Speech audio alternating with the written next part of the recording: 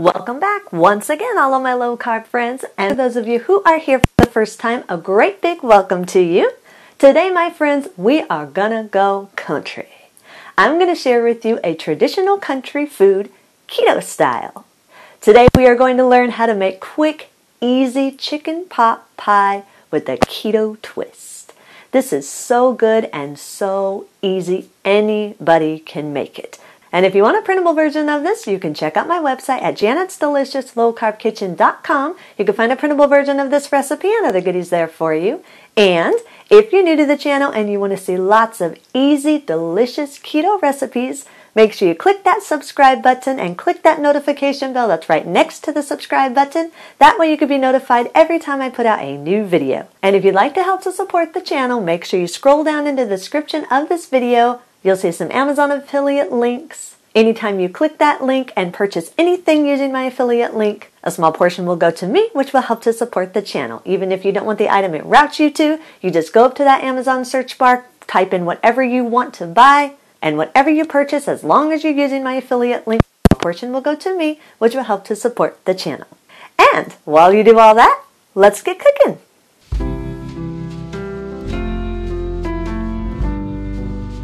Preheat your oven to 400 degrees.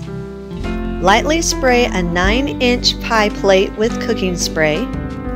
In a large mixing bowl, combine a half cup of milk of your choice and a half cup of sour cream. Whisk these both together until they're fully combined and smooth. Add a half teaspoon of garlic powder a half teaspoon of onion powder, a half teaspoon of salt, a half teaspoon of black pepper, a half teaspoon of ground coriander seeds or any type of dried herb you want, a half teaspoon of dry thyme, and a half teaspoon of paprika. Whisk these all together until everything is fully combined and your sauce is smooth. Add one cup of canned or frozen or cooked mixed vegetables.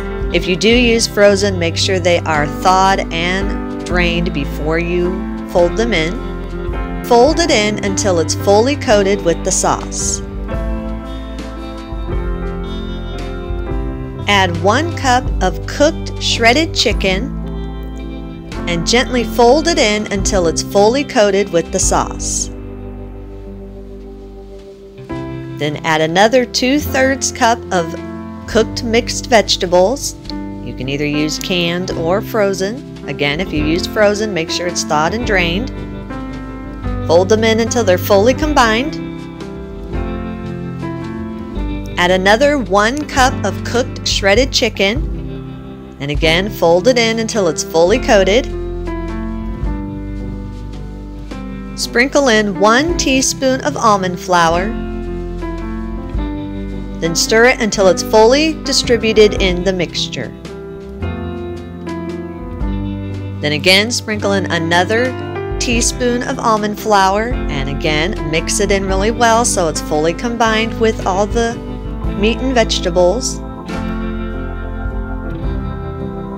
Then one more time add another teaspoon of almond flour and stir it in until it's fully combined and fully distributed with the mixture. The almond flour is just going to give the sauce a little bit of texture so it's not a watery sauce once it's baked. Once the filling's all mixed together, then set it aside. Then in a large mixer bowl, combine 3 4 cup of coconut flour, a half teaspoon salt, 1 and a half teaspoons of baking powder, a half teaspoon of xanthan gum. Yes, you need this. This helps bind the crust together. One teaspoon of garlic powder and one teaspoon of onion powder. Whisk these together until they're fully combined and there are no lumps in the coconut flour. Now the garlic powder and the onion powder are both optional. You don't have to put them in, but they really add to the flavor of the pot pie. So if you don't want them in, you don't have to put them in but I always like flavor, so I add flavor wherever I can. Once the dry ingredients are all whisked really well, Then add six large eggs and beat on low for about 10 seconds or just to moisten the dry ingredients. Then increase your speed to medium and beat on medium for about 30 seconds or until everything is combined and smooth. Now if you want to, you can do this with a hand mixer or with just a regular hand whisk. It's up to you.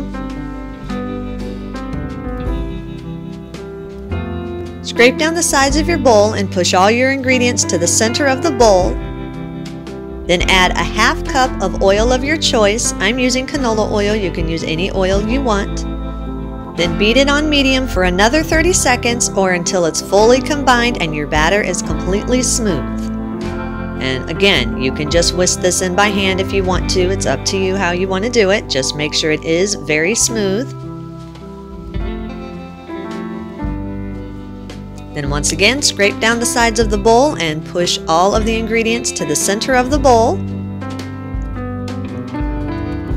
Scoop out about a half cup of the batter and spread it across the bottom of your prepared pie pan.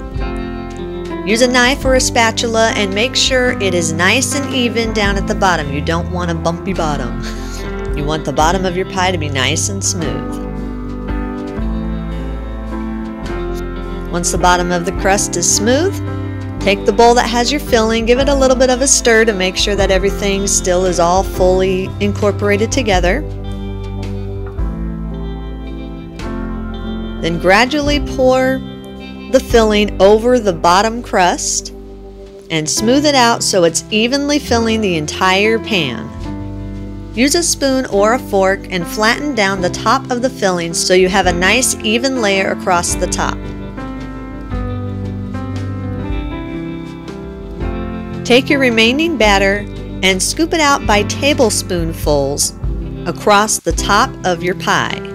Then use a knife or a spatula and spread the batter out across the entire top of the filling so that the filling is completely covered and there are no holes or gaps inside of the top layer of crust. Make sure you keep it as smooth and as even as possible. You want it to cook evenly, so try to make it as even as possible. Once it's nice and smooth, then put the pie in your preheated oven and bake for about 20 to 25 minutes or until the top of the pie is starting to turn golden around the edges. Mine took about 20 21 minutes, somewhere around in there, to get the perfect texture I was looking for. But again, as I always say, everybody's oven is different. So 20 to 25 minutes, you're looking for it to be golden around the edges. Once it's done baking, remove it from the oven and let it cool in the pan for about 15 minutes so that all the flavors can set in and the crust can firm up a bit. Once it's done cooling, then cut your desired slice, put it on a plate, and eat and enjoy. And that's our recipe of the day. I hope you enjoyed it. If you did and you want to see more videos like this, make sure you click that thumbs up like button, click that subscribe button, leave me a comment if you want to. Let me know if there's any recipes that you'd like to learn how to make, and I'll do what I can to get those out there for you. And as always, keep cooking.